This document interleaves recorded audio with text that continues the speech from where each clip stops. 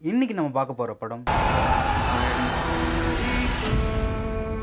Nineteen seventeen. ஜெர்மனுக்கும் பிரான்ஸுக்கும் சண்டை நடந்துகிட்டு இருக்கு பிரான்ஸ் கூட பிரிட்டிஷ் ஆர்மியும் சேர்ந்து ஜெர்மன் எதிர்த்து சண்டை போட்டுக்கிட்டு இருக்காங்க பிரிட்டிஷ் ஆர்மி பல படை பிரிவுகளாக பிரிஞ்சு first battalion second battalion third battalion அப்படின்னு மொத்தம் எட்டு பெட்டாலியனா பிரிஞ்சு ஒவ்வொரு பெட்டாலியனும் ஒவ்வொரு இடத்துல இருக்காங்க. ஒவ்வொரு பெட்டாலியனுக்கும் ஒவ்வொரு பேரும் இருக்கு. இதுல செகண்ட் பெட்டாலியனுடைய நேம் டெவன்ஸ் இவங்க தான் அட்டாக்கிங் பொசிஷன்ல இருக்காங்க. இந்த டெவன்ஸை வழி நடத்துறவர் கொலனல் மெக்கான்சி சண்டை நடக்கும் போது ஜெர்மன் பின் வாங்குறாங்க. அதனால இந்த டெவன்ஸ் டீம் அடுத்த நாள் காலையில முன்னேறி போய் தாக்குதல் நடத்தலாம் அப்படின்னு முடிவு பண்ணுறாங்க இந்த படத்தோட ஹீரோ ஸ்காஃபீல்ட் அவனுடைய நண்பன் பிளேக் இவங்க ரெண்டு பேரும் எய்த்து பட்டாலினை சேர்ந்தவங்க. இந்த பட்டாலினை வழிநடத்துகிற உயர் ராணுவ அதிகாரி இவங்க ரெண்டு பேரையும் வர சொல்லிட்டு இதில் யார் பிளேக்? அப்படின்னு கேட்குறாரு பிளேக் தன்னை அறிமுகப்படுத்திக்கிறான். அந்த அதிகாரி உன்னுடைய அண்ணன் டெவன்ஸில் இருக்கான்ல அப்படின்னு கேட்குறாரு அதுக்கு பிளேக் ஆமாம் சார் ஏன் என்னாச்சு? அவர் உயிரோட தானே இருக்காரு? அப்படின்னு கேட்குறான் அவர் இப்போ வரைக்கும் உயிரோட தான் இருக்காரு. ஆனால் அவர் உயிரோடவே இருக்கணும்னா நீங்கள் ஒரு உதவி பண்ணணும் அப்படின்னு அந்த அதிகாரி சொல்கிறாரு ஜெர்மன் பின்வாங்கினது நம்மளை பார்த்து பயந்து இல்லை. அதுதான் அவங்களுடைய திட்டமே. நம்மளை முன்னேறி தாக்க விட்டு அவங்க சுற்றி வளைச்சு தாக்குறதுக்கு தயாராக இருக்காங்க. அது மட்டும் இல்லாமல் நம்மளுடைய கம்யூனிகேஷன் லைன்ஸையும் ஜெர்மன்ஸ் கட் பண்ணிட்டாங்க. இதனால இந்த தகவலை டெவன்ஸுக்கு எங்களால் தெரிவிக்க முடியல. அதையும் மீறி இந்த தாக்குதல் நடந்தால் டெவன்ஸில் இருக்கக்கூடிய எல்லா ராணுவ வீரர்களும் இறந்துருவாங்க. உன் அண்ணன் உட்பட அப்படின்னு அந்த அதிகாரி சொல்கிறாரு இதனால இவங்க ரெண்டு பேரையும் டெவன்ஸில் இருக்கக்கூடிய கொலனல் மெக்கான்சி அப்படின்றவருக்கு இந்த தகவலை சொல்லி இந்த தாக்குதலை தடுத்து நிறுத்தணும் அப்படின்னு சொல்லிட்டு ஒரு ஆர்டர் லெட்டரை கையில் கொடுக்குறாரு. இந்த அதிகாரி டெவன்ஸுக்கு போகிறதுக்கு உண்டான வழிகளை மேப்பில் சொல்லும் பொழுது உடனே பிளேக் அந்த இடங்கள்ல சில பகுதிகளை ஜெர்மன் கைப்பற்றி வச்சிருக்காங்க அப்படின்னு சொல்றான். அந்த அதிகாரி அங்க இப்போ யார் இல்லை? அவங்க எல்லாம் கிளம்பி போயிட்டாங்க அப்படின்னு சொல்றாரு. பிறகு ஸ்காஃபீல்டுக்கும் பிளேக்குக்கும் தேவையான உணவு ஆயுதம்லாம் கொடுக்கப்பட்டு அவங்க ரெண்டு பேரும் அங்கிருந்து அனுப்பப்படுறாங்க. ஸ்காஃபீல்ட் பிளேக் கிட்ட நாம இப்போ போனா ஜெர்மன் கிட்ட மாட்டிப்போம். நம்ம கொஞ்சம் இருட்டானதுக்கு அப்புறம் போலாம் அப்படின்னு சொல்றான். பிளேக் என்னோட அண்ணனை நான் காப்பாற்றணும் அதனால நம்ம உடனே போறோம் அப்படின்னு சொல்றான். ஸ்காஃபீல்டு எவ்வளவு சொல்லியும் கேட்காம பிளேக் ரொம்ப அடமண்டா இருக்கான். அதனால அவங்க ரெண்டு பேரும் அவங்க இருக்கிற லேண்டை விட்டு வார்ஃபீல்டுக்குள்ள போக ஆரம்பிக்கிறாங்க. அவங்க போற வழியெல்லாம் மனித பிணங்களும் மிருகங்களுடைய உடல்களும் கிடைக்கக்கூடிய ஒரு சதுப்பு நிலமா இருக்கு.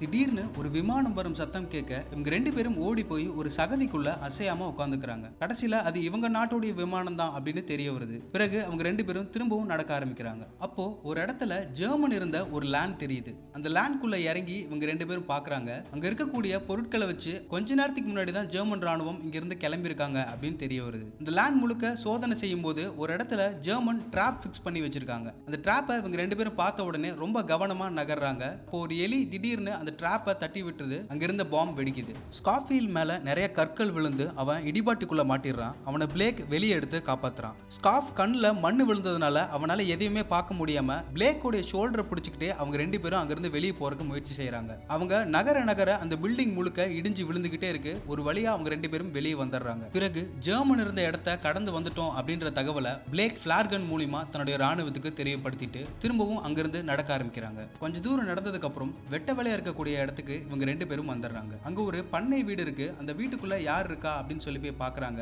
அங்க ஒரு இடத்துல யாரோ பக்கெட்ல பால் கறந்து வச்சிருக்காங்க. அந்த பாலை ஸ்காஃபீல் குடிச்சிட்டு தன்னுடைய பாட்டில்லையும் ஃபில் பண்ணி வைக்கிறான். அப்போ வானத்துல ரெண்டு பிரிட்டிஷ் ஏர்ஃபோர்ஸ்க்கும் ஒரு ஜெர்மன் ஏர்ஃபோர்ஸ்க்கும் சண்டை நடந்துகிட்டு இருக்கு. அதை இவங்க ரெண்டு பேரும் யார் ஜெயிக்கிறான்னு பார்க்கலாம் அப்படின்னு வேடிக்கை பார்த்துக்கிட்டு இருக்காங்க. ஜெர்மன் ஏர்ஃபோர்ஸ் தாக்கப்பட்டு கீழே விழுகுது. அந்த இடம் இவங்க இருக்கிற இடத்த விட்டு ரொம்ப பக்கத்துல தான் இருக்கு அப்படின்றதுனால ஸ்காஃபீல்ட் அந்த கிட்ட போய் பார்க்கலாம் அப்படின்னு போறான். பார்த்தா அந்த விமானம் நேரா இவங்க இருக்கிற இடத்த நோக்கி வந்துகிட்டு இருக்கு. இவங்க ரெண்டு பேரும் ஓட ஆரம்பிக்கிறாங்க. இவங்க பக்கத்துல வந்து அந்த விமானம் விழுந்து நொறுங்குது. விழுந்த விமானத்துல ஜெர்மன் நாட்டை சேர்ந்த ஒரு ராணுவ வீரன் உயிருக்கு போராடிட்டு இருக்கான். அவனை இவங்க ரெண்டு பேரும் வெளியே எடுத்து காப்பாத்துறாங்க. அவன் தாங்கிட்ட இருந்த கத்தியால பிளேக்கு குத்திடுறான். இதனால ஸ்காஃபீல்ட் அவனை ஷூட் பண்ணிடுறான். பிளேக்குக்கு நிறைய ரத்தம் வெளியேறதுனால தான் பொழைக்க மாட்டோம் அப்படின்ற விஷயம் தெரிஞ்சு போயிடுது. இதனால ஸ்காஃபீல்டு கிட்ட தன்னுடைய அண்ணனை பத்தின அடையாளங்கள் எல்லாம் சொல்லி நீ டெவன்ஸை கண்டுபிடிக்கணும். என் அண்ணனை காப்பாற்றணும் அப்படின்னு சொல்கிறான் பிறகு தன்னுடைய அம்மாவுக்கு ஒரு கடிதம் எழுத சொல்கிறான் அந்த கடிதத்தில் நான் சாகும்போது பயப்படல ரொம்ப தைரியமாக இருந்தேன் அப்படின்றத குறிப்பிட சொல்லிட்டு இறந்து போயிடுறான். ஸ்காஃபீல்டு பிளேக்கோடைய பேஜஸ் எல்லாம் எடுத்துக்கிட்டு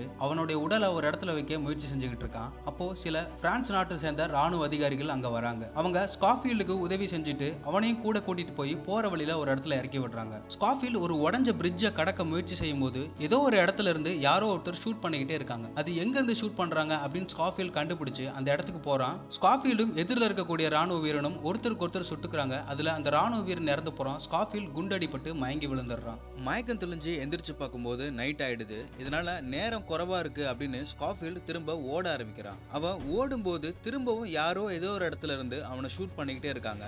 எதிரில் ஒரு ஜெர்மன் ராணுவ வீரர் ஸ்காஃபீல்டை பார்த்த உடனே ஷூட் பண்ணிக்கிட்டே துரத்த ஆரம்பிக்கிறாரு. ஸ்காஃபீல்ட் அங்கிருந்து ஓடி போய் ஒரு பில்டிங்கோட அண்டர் கிரவுண்டுக்குள்ள போய் ஒளிஞ்சுக்கிறான். அந்த அண்டர் கிரவுண்ட்ல ஏற்கனவே பிரான்ஸ் நாட்டை சேர்ந்த ஒரு பெண்மணி ஒளிஞ்சிருக்கா. அவ ஸ்காஃபீல்டை பார்த்த உடனே பயப்படுறா. ஸ்காஃபீல்ட் நான் பிரிட்டிஷ் ஆர்மி சேர்ந்தவன் தான் அப்படின்னு சொல்றான். அந்த பெண் கூட ஒரு குழந்தையும் இருக்கு. ஸ்காஃபீல்ட் அந்த குழந்தை யாரோடது? அப்படின்னு கேட்கிறான் அந்த பெண் தெரியல இந்த குழந்தையோட அப்பா அம்மா போர்ல இறந்துட்டாங்க அப்படின்னு சொல்றான். உடனே ஸ்காஃபீல்ட் தாங்கிட்ட இருக்கிற உணவை எல்லாம் அந்த குழந்தைக்காக கொடுக்குறான். அந்த பெண் குழந்தை இதெல்லாம் சாப்பிடாது பால் மட்டும்தான் குடிக்கும் அப்படின்னு சொல்றா. உடனே ஸ்காஃபீல்ட் தன்னுடைய வாட்டர் பாட்டில் இருக்கக்கூடிய பால் எடுத்து அந்த குழந்தைக்காக கொடுத்துட்டு நான் உடனே இங்கிருந்து கிளம்பணும் அப்படின்னு சொல்லிட்டு திரும்பவும் ஓட ஆரம்பிக்கிறான் ஸ்காஃபீல்ட் ஓடிட்டு இருக்கும்போது இந்த முறை ரெண்டு பக்கமும் நிறைய ராணுவ வீரர்கள் எங்கேயோ இருந்து ஸ்காஃபீல்ட்ல ஷூட் பண்ணிக்கிட்டே இருக்காங்க. இதனால ஸ்காஃபீல்டு ஓடி போய் ஒரு ஆத்துக்குள்ள குதிச்சிடுறான். ஆத்துல தண்ணியோட வேகம் அதிகமா இருக்கிறதுனால அவனால எந்த பக்கமும் கரையேற முடியாம ஆறு போற போக்கிலே போறான். அடுத்த நாள் காலையில ஒரு இடத்துல கரையேறான் டெவன்ஸை கண்டுபிடிக்க முடியல அப்படின்ற வருத்தத்துல ஒரு இடத்துல போய் உட்கார்றான் அங்க சில ராணுவ வீரர்கள் உட்காந்துருக்காங்க அவங்க கிளம்பும் போது ஸ்காஃபீல்ட பார்த்துட்டு நீங்க யாரு? என்னாச்சு? அப்படின்னு சொல்லி கேக்குறாங்க. உடனே ஸ்காஃபீல்ட் நான் டெவன்ஸை கண்டுபிடிக்கணும். ஆனா இப்போ வரைக்கும் என்னால அவங்கள கண்டுபிடிக்க முடியல அப்படின்னு ரொம்ப வருத்தத்தோட சொல்றான். அந்த ராணுவ வீரர்கள் நாங்க தான் டெவன்ஸ் அப்படின்னு சொல்ல உடனே ஸ்காஃபில் கொலனல் மெக்கான்சி எங்க இருக்காரு? அப்படின்னு கேக்குறான். இந்த ராணுவ வீரர்கள் அவரு ஃப்ரண்ட் லைன்ல இருக்காரு அப்படின்னு சொல்ல திரும்பவும் மெக்கான்சியை தேடி ஸ்காஃபில் ஓட ஆரம்பிக்கிறான். டெவன்ஸ் டீம் தாக்குறதுக்கு தயாரா இருக்கிறாங்க. ஸ்காஃபில் போற வழியில இருக்கக்கூடிய ராணுவ வீரர்கள் கிட்ட இந்த தாக்குதலை ஸ்டாப் பண்ணுங்க அப்படின்னு சொல்றான். அவங்க எங்க கிட்ட எல்லாம் அதிகாரம் கிடையாது. நீ கொலனல் மெக்கான்சியை போய் பாரு அப்படின்னு சொல்றாங்க.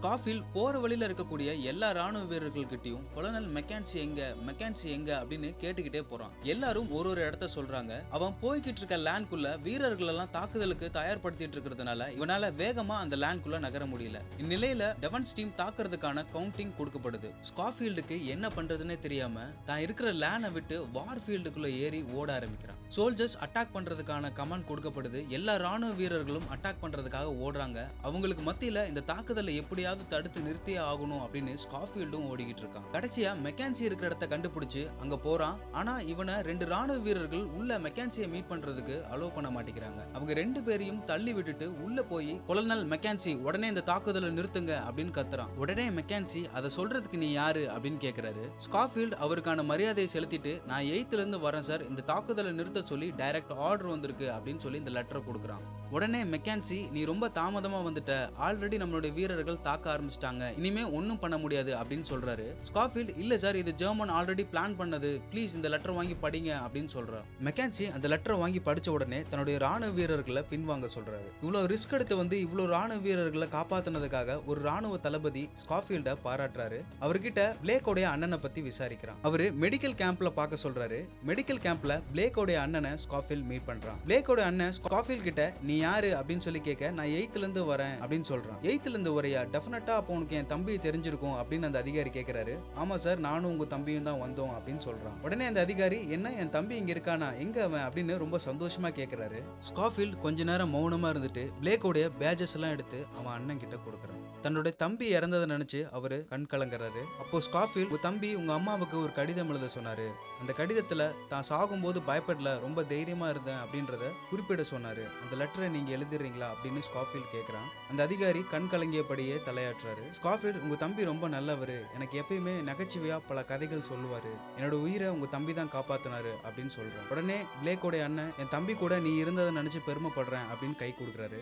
ஸ்காஃபீல்ட் நடந்து போய் ஒரு மரத்துக்கு பின்னாடி உட்காந்து தான் பாக்கெட்ல இருக்கக்கூடிய தான் ஃபேமிலி ஃபோட்டோவை எடுத்து பார்க்குறான். இந்த ஃபோட்டோவுக்கு பின்னாடி கம் பேக் ஃபார் அஸ் அப்படின்னு எழுதியிருக்கு. திரும்ப நீ எங்களுக்காக வரணும் அப்படின்னு எழுதியிருக்கு. அதை பார்த்து கண்ணை மூடி உட்காடுறான் படம் நிறைவடையுது. இந்த படம் ரெண்டாயிரத்தி பத்தொன்பதுல வெளிவந்து பத்து கேட்டகரியில ஆஸ்கார் நாமினேட் ஆகி அதுல best cinematography best visual effects best sound mixing அப்படின்னு மூணு கேட்டகரியில ஆஸ்கார் வின் பண்ணுச்சு. இந்த படம் சிங்கிள் டேக்ல எடுத்த மாதிரியான ஒரு விஷுவல்ஸை இந்த படத்தோடைய கேமரா மோஷன்ஸை பயன்படுத்தி எடிட் பண்ணியிருப்பாங்க இந்த படத்தோடைய லாங்கஸ்ட் டியூரேஷன் எட்டு நிமிஷம் முப்பது செகண்ட் இதனால இந்த படம் முழுக்க சிங்கிள் டேக்ல எடுத்த மாதிரி இருக்கும். இந்த படம் முதலாம் உலக போர்ல நடந்த ஒரு உண்மை சம்பவம். சாம் மெண்டிஸ் சின்ன பையனா இருக்கும்போது தன்னுடைய தாத்தா ஆல்ஃபிரட் மெண்டிஸ் முதலாம் உலக போர்ல ஏற்பட்ட சில அனுபவங்களை கதையா சொல்ல அதையவே முழு படமா பண்ணியிருக்காரு. ஒரு ராணுவ வீரனின் வழிய ரொம்ப நெகிழ்ச்சியா சொல்லக்கூடிய இந்த படம் நம்ம எத்தனை முறை பார்த்தாலும் ஒவ்வொரு முறையும் படத்தின் இறுதி காட்சியில கட்டாயமா எல்லாரையும் கண்கலங்க வைக்கக்கூடிய காட்சிகள் அமைச்சிருப்பாரு படத்துடைய இயக்குனர் சாமண்டிஸ்